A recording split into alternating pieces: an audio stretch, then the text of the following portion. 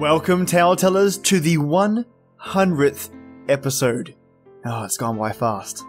I wanted to do something special, and I've promised to do this for, well, essentially 80 plus episodes.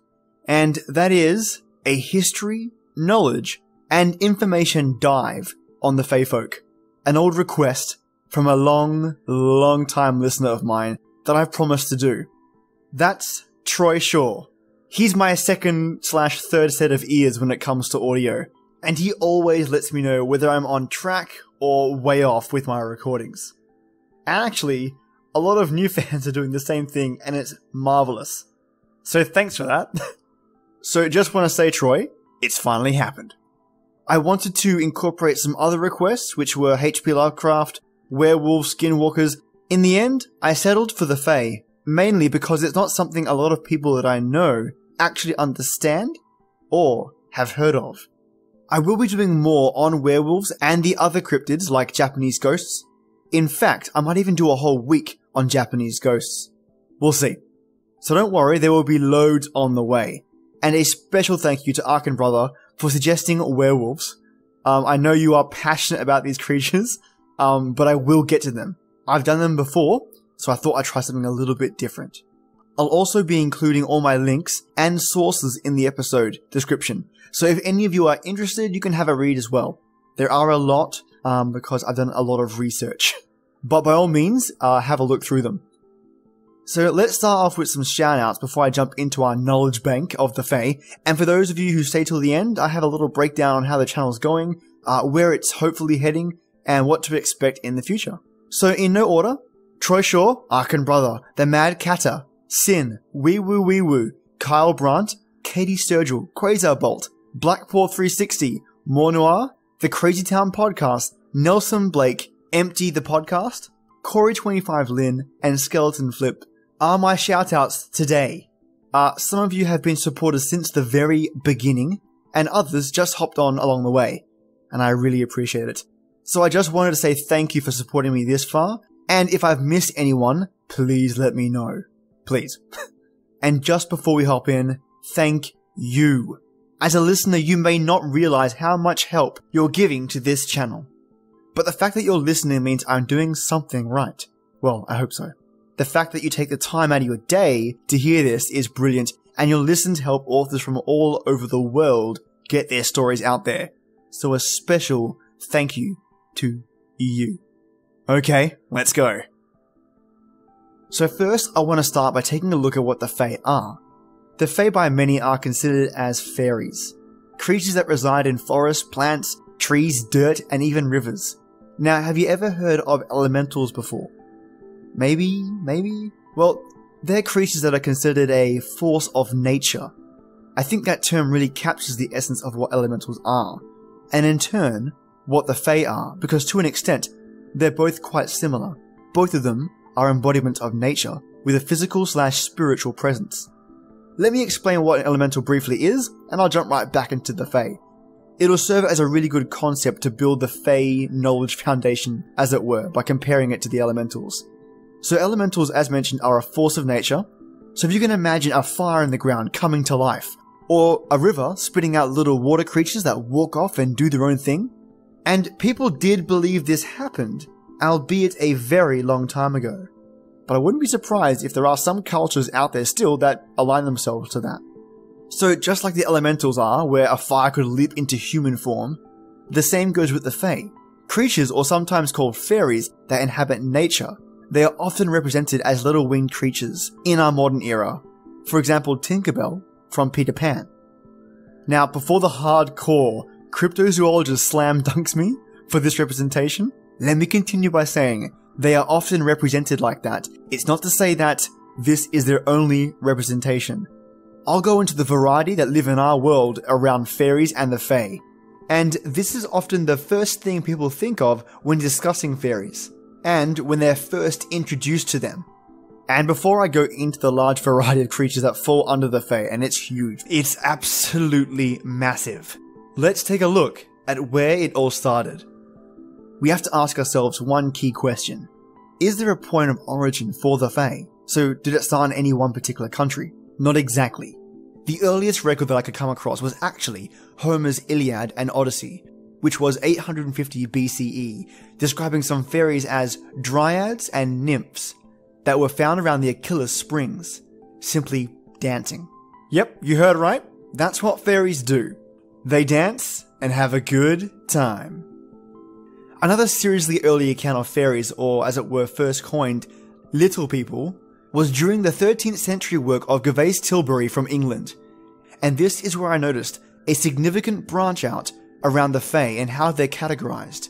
During the earlier period of the discovery of Fae, people had used previous naming conventions, and Gervase called them demons, and interestingly, the French called them Neptunes, which is different. I've never heard that before.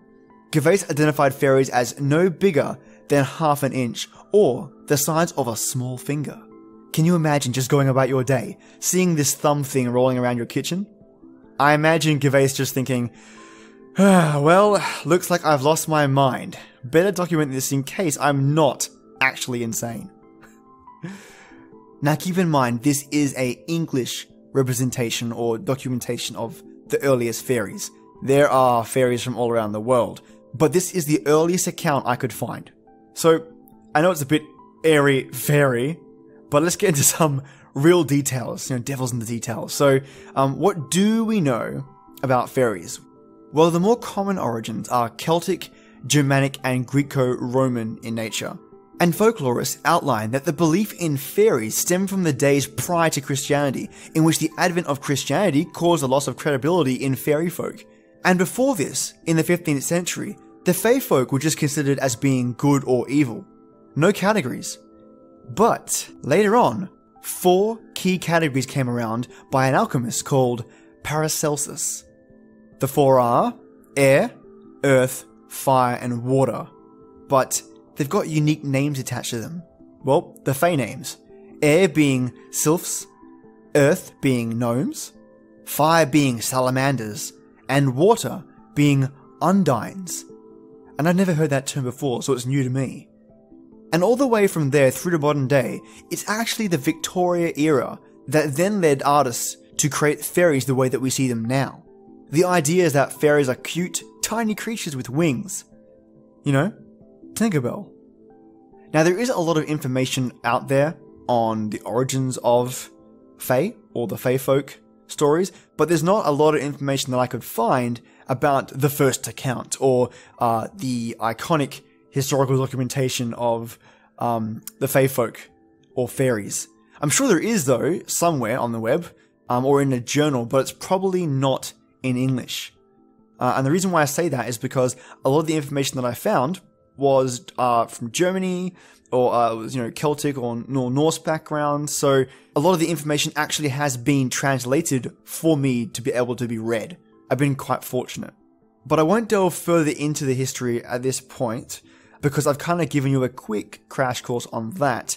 Uh, let's jump into the more juicy parts, as in what kinds of Fae are there. Quick disclaimer, I've picked the common, semi-common, and perhaps slightly unheard of Fae slash fairies, so if I've missed any, let me know. Okay, strap yourself in. Let's first cover off the generic general fairy type. So this is basically a 360 perspective of what the typical general winged fairy or spirit fairy is. So the general winged fairy slash spirit fairy is actually deemed often as a legendary creature that fulfills so many roles in our society, culturally and spiritually, that us humans never notice. Also, the more nature aligned uh, fairy or winged fairy is around flowers and trees and the earth. So they say that flowers planted or trees grown or forest expanses have their own set of unique and living fairies. So when your plant dies, those fairies are pissed. So not only do I have a dead plant on my hands, I have a spiritual being that's furious at me. In saying this, winged fairies provide protection or malice. In the story Snow White, and in particular, the Brothers Grimm version in 1812, it shows how many of the fairies are invited to the birth of Snow White, providing her the very talents and skills she has in her life. Now, this is actually coined a fairy birth, with gifts bestowed to a chosen child or special children. So in some cases, it could be the daughter of a king. Um, it just depends on the situation. And on the other side of the coin is the malice that these fairies can bring. So if we annoy a fairy or a spirit fairy, uh, they can bestow curses and hexes out of fury and anger. The very curse that would kill, or in this case, put Snow White to sleep. So their magic can be pretty powerful. Let's actually have a look at some more well-known fairies. And as mentioned, the name fairies does cover a wide breadth. So there may be some in here that you might disagree with, and rightfully so. It just depends on how you categorize the fae and fairy folk. Because it actually includes things like spirits, goblins, demons, elementals, the undead, and elves. So the list we have here is extensive. For obvious reasons, I've shrunk it down to what I consider the most identifiable. So believe it or not, we can start with the leprechaun, pronounced Leith Brogan or Leith Frogan. And I'm sure I'm ruining these, but you'll have to bear with me. And of course, as many of you know, it stems from Irish folklore. The leprechaun was and still is one of the best known male solitary fairy folk. They're mischievous and are known to playing practical jokes upon mortals. They actually dress in a homely style clothing set that looks very, very ordinary, and is often a tiny male figure with an old, withered face. He's actually often considered a shoemaker and trades favors for gold, sometimes even wishes. So leprechauns are really, really powerful. And as the saying goes, you'll always find one at the end of a rainbow. And you'll also find their pot of gold. Never touch the gold though.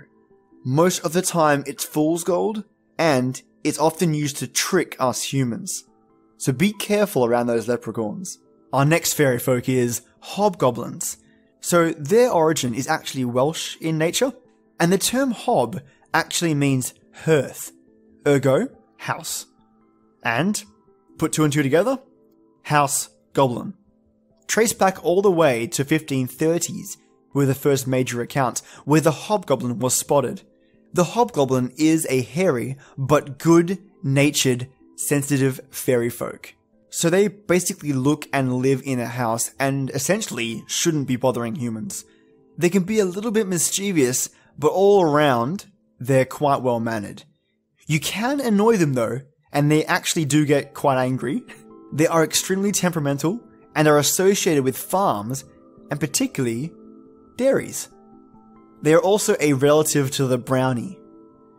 Now, before I hop into the brownies, um, hobgoblins, the only way to annoy them significantly is to do things like smash plates, or move things around, or mess around with stuff in your house that's been kept there for years or months because hobgoblins love conformity and a lack of change. So everything keeping constant. As soon as you start messing things around, uh, hobgoblins become temperamental and start being mischievous. So they'll make things go missing or hide your keys, stuff like that. Now, brownies, and no, not the ones we eat. Man, I do want to have some brownies.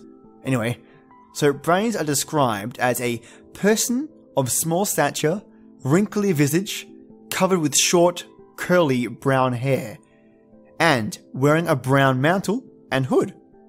They work in houses for small gifts like food, but unlike hobgoblins, brownies are exclusively tied to houses and working in the kitchen.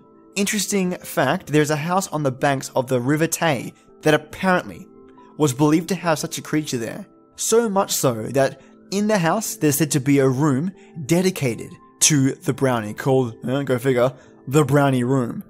Brownies are considered mischievous and sometimes deemed as evil spirits, which leads me to boggarts, because boggarts are brownies with a twist.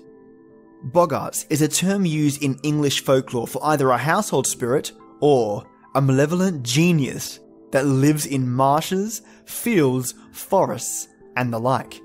Other names of this group include bug, bugbear, bogey, bogeyman, boggle, etc. And causes mischief and things to disappear, milk to sour, and dogs to go lame. The boggart inhabits marshes or holes in the ground and is often attributed to more serious evil doing, such as the abduction of children. And I'll get into that later. But boggarts have no set appearance and size. Many are described as relatively human like in form, though usually uncouth, very ugly, and often with bestial attributes. So, does that mean exceptionally ugly people? I mean, seriously, this could just be a really awful dig at ugly people. anyway, one such boggart, I quote, was a squat, hairy man who was as strong as a six year old horse, and with arms almost as long as tackle poles. Okay, I rest my case. Clearly, they are taking a dig out of ugly people. I'm just half expecting to be like, that ain't no Boggart, that's me brother Jack. well, other accounts give a more completely beast like form. For example, the Boggart of Lungar Heed from Yorkshire was said to be a fearsome, cow sized creature with long shaggy hair and eyes like saucers it trailed a long chain after itself, which made a noise like the baying of hounds. The boggart of Hackensall Hall in Lancashire had the appearance of a huge horse. At least one Lancashire boggart could take the form of various animals, or indeed more fearful creatures. So these boggarts are quite powerful and apt at shapeshifting.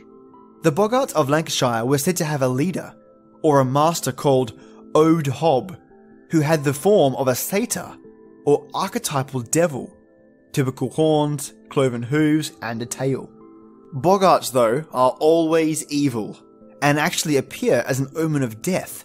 And the even stranger thing is, they could actually also follow a family even if they run away to another area to avoid them.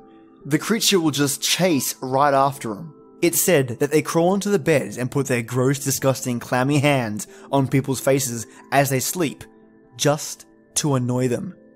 Sometimes they pull bed sheets off or tug on people's ears. Whoa, what a pain in the ass. Aside from that, it doesn't seem so bad, but depending on what folklore you read, it seems there's a varying degree of how dangerous these boggarts are. Now, if, however, you hang a horseshoe above the door of your house and leave a pile of salt at the front of your door, it deters the boggarts it's like Boggart Be Gone spray. I mean, it's hard to tell as well if they're gone because most of the time they are invisible. So yeah, good luck confirming that. I mean, I guess the dead giveaway is my ears don't hurt anymore, and my face is absent of clammy hands. Looks like it's back to sleeping peacefully. and these things are by no means small or mild mannered. No, no, no, no, no. Apparently, they've been known to trap people in marshes and bogs, hence the name, and kill people. Yeesh. There is quite a difference between pulling an ear and killing someone in a marsh. Goodness. And one more of the Boggart Brownie family, Boggles. Now, this one is interesting. They bring on a sense of dread and are completely invisible, and perform evil deeds to only murderers and liars. Okay, that's quite specific. Not that I'm complaining though, especially on the murderer part. But as we go away from the boggarts and the brownies and boggles, we venture into the Fae territory of changelings. And these are rich with resources. Uh, there's plenty of information about them. So let's dig in. There are many names for the changeling in Scottish Gaelic tradition. The changeling was called Umad, in Irish folklore, it's a Siofra, and the Welsh called them Plentyn. And anyone from those countries that heard me say this and just cringed, uh, let me know how to say it, and and I'll be ever grateful. Now, these changelings are extremely dangerous according to folklore. The fairy changeling would secretly exchange a mortal infant with that of their fairy kind. The fairy baby is called a changeling in its own right, but sometimes these stolen babies were actually returned to their families, especially when a person can expose the true nature of the changeling. So, what I mean by the fairy baby is the changeling. The changeling will adopt the shape and likeness of a child and imitate the childlike foibles and activities that you would expect your own child to do. Meanwhile, your child is in the Fae world. Now, this is extremely dangerous, but there is a way to catch them. Now, changelings have a wicked sense of humor and laugh at how strange humans can be, especially if the changeling thinks that what you're doing is ridiculously dumb. For example, if you put your hat on a shoe, the baby changeling will laugh hysterically. Or for example, you put butter on your hand and smear it on your face. The changeling might even talk directly to you and ask you why you did that, whilst laughing. And in fairness, if I saw someone just get butter, put it on their hand, and smear it on their face, I think I'd laugh hysterically as well. But it's during these hysterics that the changeling reveals itself. And when I say reveal itself, it could be as simple as getting up and leaving the room, or throwing things, or yelling and screaming in another language. It's quite robust in how they reveal themselves once they're caught. Furthermore, these fairy babies were sickly as well. So you would be able to identify that there's something odd about your child, and you would wonder why your baby is behaving just a bit off. One way to recognize them is to place them on a fire and chant. I wouldn't recommend this to any child because the only alternative is if it's not a changeling baby, uh, it will just catch on fire. So that's kind of insane. Um, but the alternative is if it is a changeling baby, and I think at this point you'd want it to be, it will climb up the chimney and leave. And according to some folklorists, the stolen baby, I kid you not, I quote, is apparently then living in a place of good living, music, and mirth. The danger is when the child eats the food there, or is there long enough to become part of the Fae world itself, and as a result, turns into a changeling. So that's pretty freaky. Our next Fae creature is the Fukar. Mainly a creature of Celtic folklore, considered to be bringers both of good and bad fortune. They could either help or hinder rural and marine communities. The Fuka can be dark or staunch with white fur or hair, and the creatures were also said to be shape changers, which could take the appearance of horses, goats, cats, dogs, and hares. Sometimes even satyr like. So, for those who aren't familiar with satyrs, they are part human and part goat or animal. I thought I'd just clear that up just in case. They may also take human form, which includes various parts of them being animal in nature. So, just like I mentioned, similar to a satyr. In Irish folklore, it's considered a goblin. See what I mean by categories and fairies? Yeesh. It's just difficult to pinpoint where one fae folk starts and the other ends. In Irish folklore, they are definitely considered shapeshifters, and I quote, vicious pranksters. Vicious so I'm going to lean possibly towards even deadly. Fuka can't enter human homes, so similar to vampires. I mean, I know vampires have to be invited, um, but Fukas can't enter homes at all. Whilst the Welsh version of Fukas, called Bukas, are notorious kidnappers who break into human homes. So I think I'd lock my doors with that knowledge in mind, especially if I was in that era. Goodness. Irish Fukas, though, love destroying crops apparently. They just love it. If you have any unharvested crops and the Fuka is around on the time of the Samhain, which is harvest season at the beginning of winter, well, consider yourself rewarded with a dead cow. yep. If you choose to cut crops that are unharvested after the Samhain, well, dead cows for everyone. Ah, what a piece of work. Goodness. Some Fae are really, really painful to live with, and the Fuka are no exception. so let's drill down into maybe some more specific Fae. Now, you hardcore cryptozoologists out there, you might be able to be like, oh yes, stories, I know, I know this one off by heart. I know what you're gonna say. It's gonna be Goblin, or it's gonna be Earth Spirit. No. Actually, it's called Dullahan. The Dullahan is actually kind of mainstream ish. So, what I mean by that is you probably would have seen a film about it and not known it. Dullahan refers to the headless phantom coachman who drives a black coach known as Coach Aboa or Kois Budha, sometimes drawn by headless horses. Now, I draw a tenuous link between uh, the Dullahan and the headless horsemen, but there is definitely a link there. Now, in the coach, there is a coffin. Thomas Crofton Croker another folklorist, called it the death cart. Dullahan were usually accompanied by the banshee, which were wailing as if it was a funeral. Sometimes this banshee is also headless, In other traditions, the Dullahan doesn't ride in a coach, but rides a headless horse. So again, not the headless horseman, but in this case, they'd both be headless, the horse and the rider. If a person opened the door when he or she hears a coach rumbling by, that person may have a pitcher full of blood thrown onto their face. That is the mark of death. And disgusting. It seemed that the Dullahan can take off their head at will, so they have their heads on, but they can remove them. The Dullahan may even toss their head around like a gruesome ball game. Those who watch him pass may lose their eye to his whip. According to other folklorists, the cracking of the whip is in itself an omen of death. There are anecdotes of the headless phantom or person scattered throughout older Celtic literature.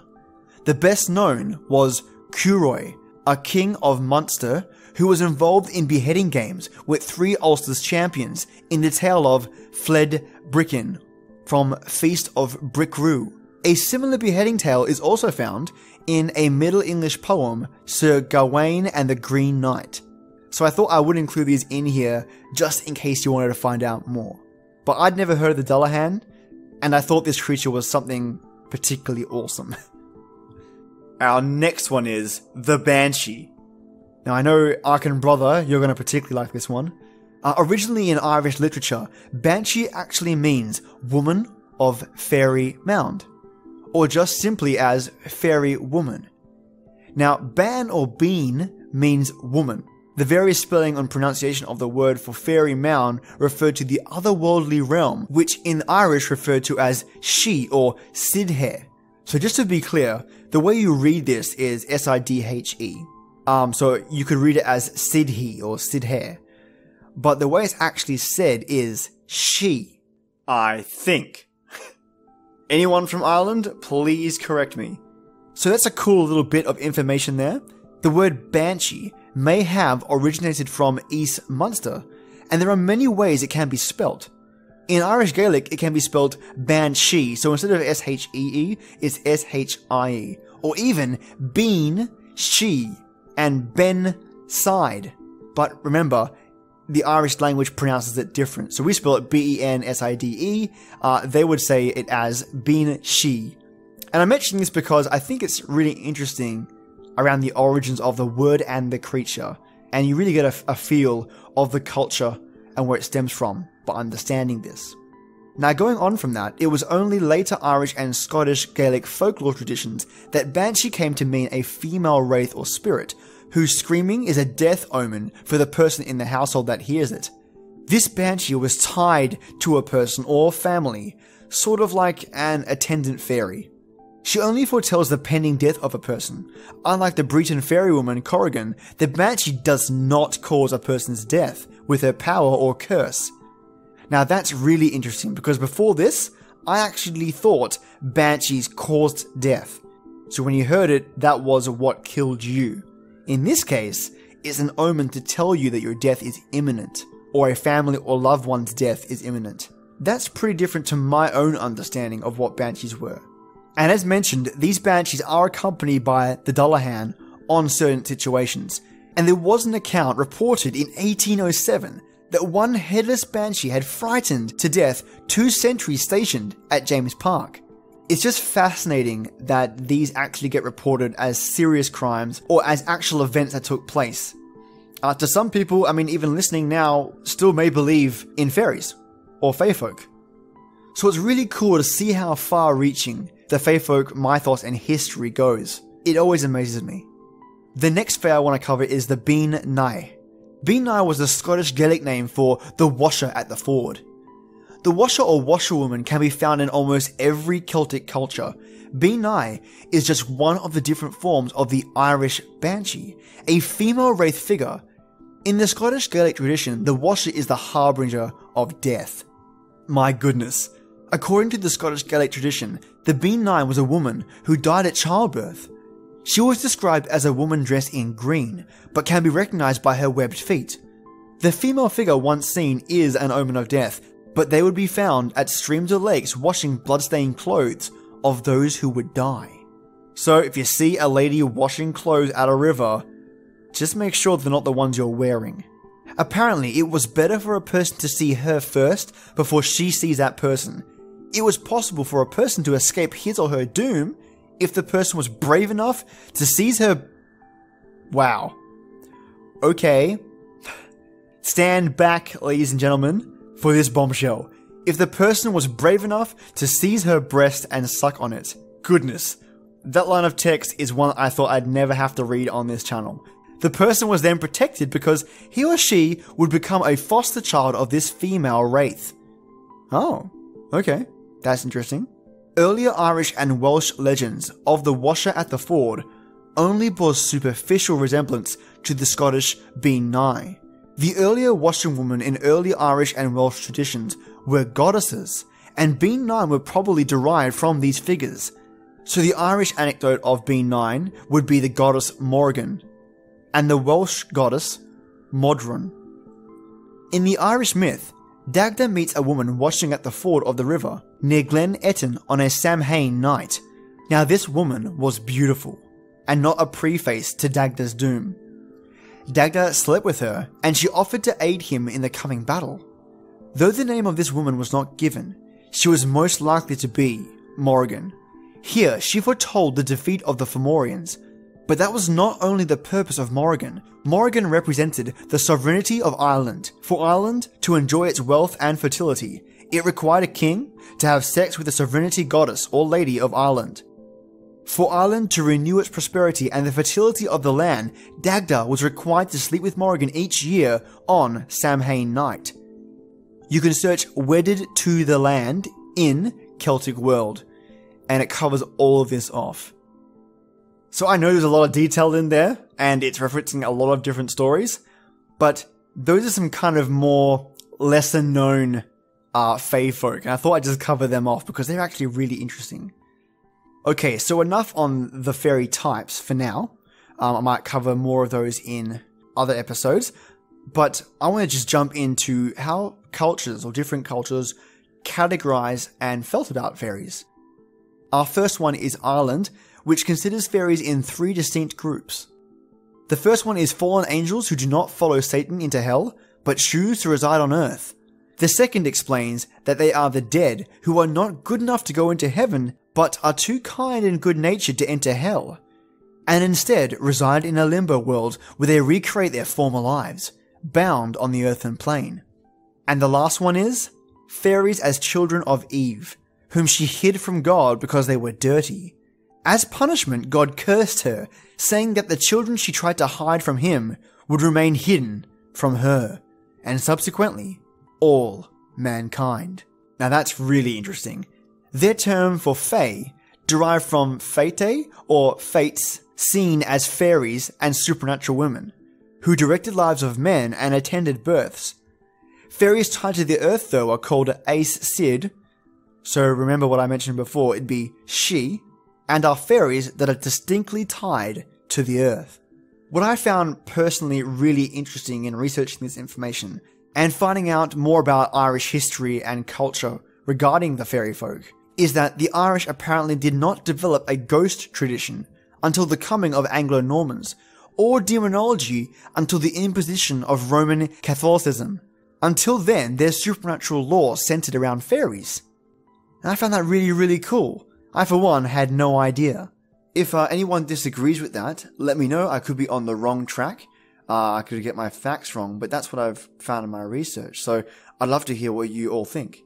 Now let's look at the Scottish folklore for fairies. Scottish folklore has the fairies divided into two distinct courts.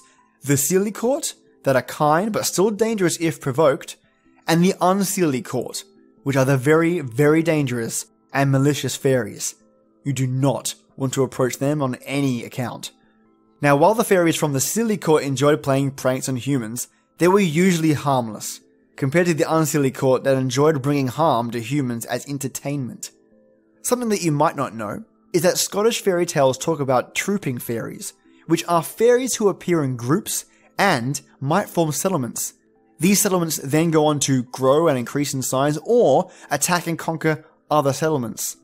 In the Scottish definition, fairies are usually understood in a wider sense, as the term can also include various kinds of mythical creatures, mainly of Celtic origin. However, the term might also be used for similar beings such as dwarves or elves from Germanic folklore, which are opposed to the solitary fairies who do not live or associate with others of their kind. So like dryads and nymphs. And those two dryads and nymphs are a different creature set altogether, but similar to fairies, because they too inhabit the trees, the plants, the forest. Dryads normally, to my knowledge and research, inhabit trees. They can even inhabit one tree. And nymphs are often seen as elementals that inhabit rivers, um, lakes, ponds. They're more of a water elemental type. Now, Norse mythology call the fairy folk, oh gosh, I'm going to ruin this, Doklafar and Iljasalfa. So, Old Norse for light elves and dark elves. The two different elves are as you would expect. So the first one mentioned, which is the light elves, dwell within the earth and have leathery, rough skin, and it's written that they are fairer than the sun to look at, while the latter are as dark as night, and equally dark spirited in nature.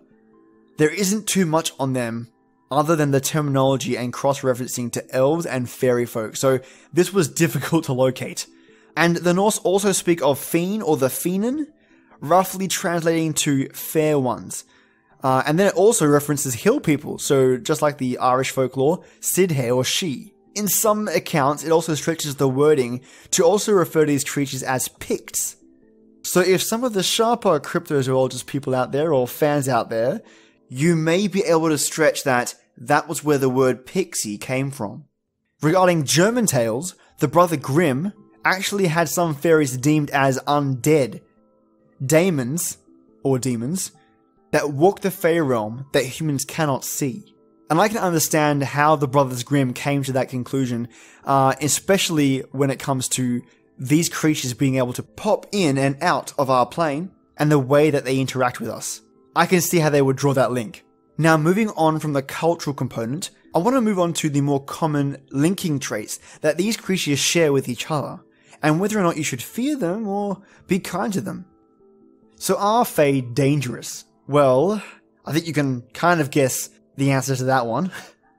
But let's have a look at the Fae attributes in general.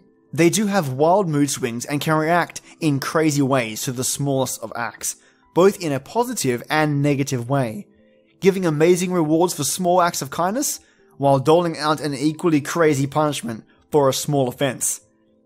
The Fae are heavily rule driven, stricken to rules and taboos that can sometimes conflict with human nature and often don't mesh with our rules and regulations. If we're talking about Scottish law where there are two courts, the Unseelie and Seelie, uh, it's really easy to identify which ones you want to interact with. The Seelie court can be dangerous if offended, they can be. But the primary difference between these two groups is that the Unseelie court is never under any circumstances favorable to humans. Ever. So should you ever encounter them, well, run. They will only harm, trick, or kill you.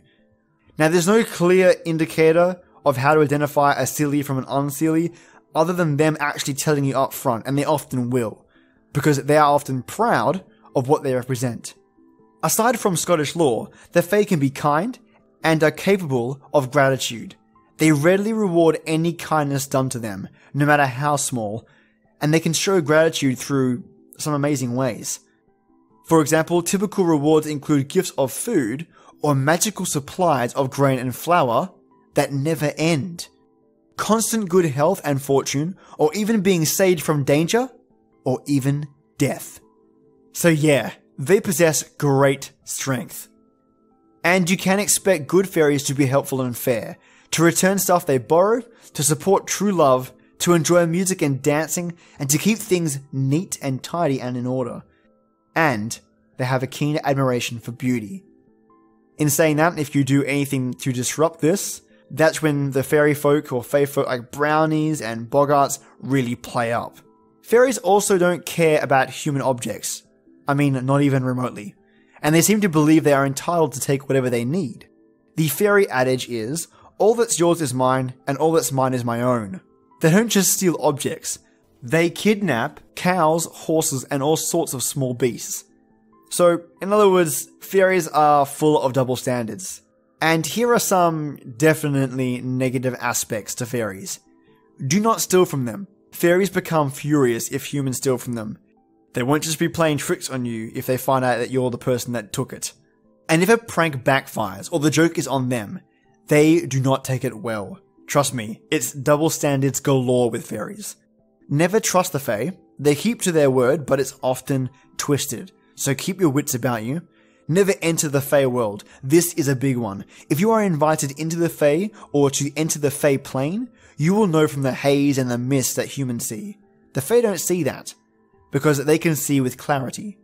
The biggest caution I can give you from my own research is do not eat there. Okay? If you eat there, you will never, ever leave. Once their food touches your lips, you're their property. That's it. You're stuck in the Fae plane. There have been stories though of magical items promised by the Fae, where those rewards are tucked away in the plane world. Now once given to them, they put it on, whether it be a pair of boots or a jacket, and it whisks them away from our world into the Fae world, never to be seen again. But there is some level of countermeasure here.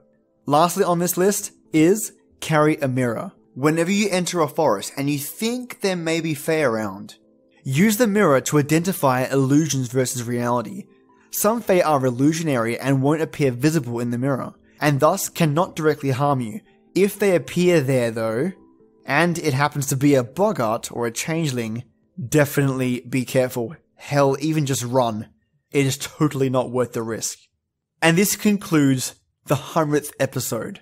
And before I end this episode, I'll just talk about the channel and the future of the channel briefly.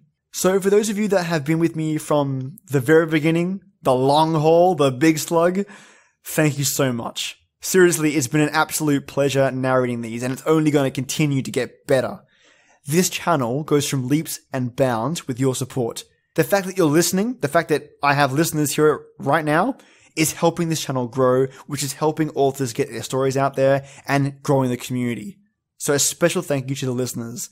And I can tell people are sharing this podcast around. The numbers do not lie.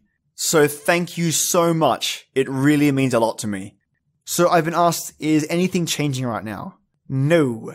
I'm going to continue narrating stories and we'll be focusing on improving the audio, sound effects, and loads more. What are my plans for the future of this channel? Well, I'm going to try and do more collaborations, work with different narrators, and see how far that goes. In fact, I have one piece that I've just finished with another narrator, whose name is Skinned Locust. It's a cool name. And it's a skinwalker story. Go figure. So yes, lots more collaborations in the future, and he's just uploaded it as well today, so I might as well link it in the episode description. Well, the future is bright, you awesome tale tellers, and I only have you to thank. Stay tuned for the next 100 episodes or more, and join me on this journey of fantastic stories. And as always, creepy fans, have yourself a great night, a great day or evening, and if you encounter the Fae, well, you're well prepared to know what you're facing. Thank you all so much.